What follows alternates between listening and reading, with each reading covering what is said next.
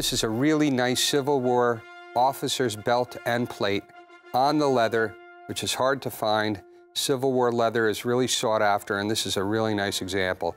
Here's your 1850s period rectangular eagle belt plate on the belt. Beautiful, big American spread eagle with shield. Big banner above, E pluribus unum on top. Beautiful wreath in silver underneath. And it's on the original leather belt, which is really kind of hard to find.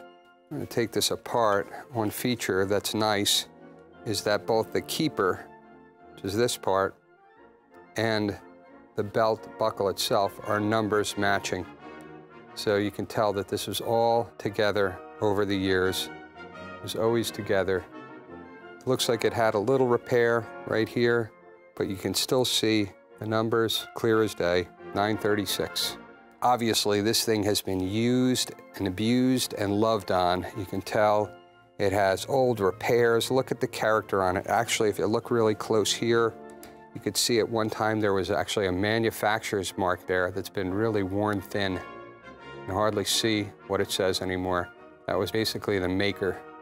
The rest of the belt is like, as you can see, it's just, it's just worn with age. It's got a lot of character.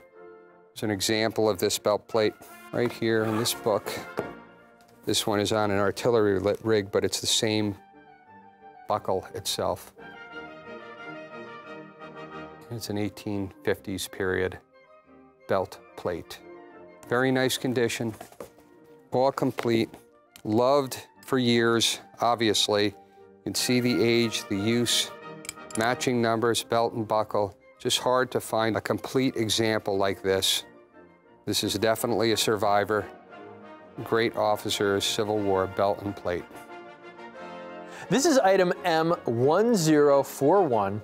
It's a Civil War officer's Eagle belt plate. It's just $550.